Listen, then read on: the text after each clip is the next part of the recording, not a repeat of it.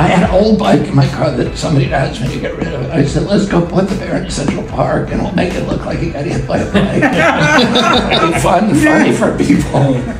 So uh, everybody thought that's a great idea. So we went and did that and we thought it would be amusing for whoever found it or something. He's crazy. I don't dislike the man. I don't have an agenda with him. But it's just not normal to put dead bears in Central Park and walk away.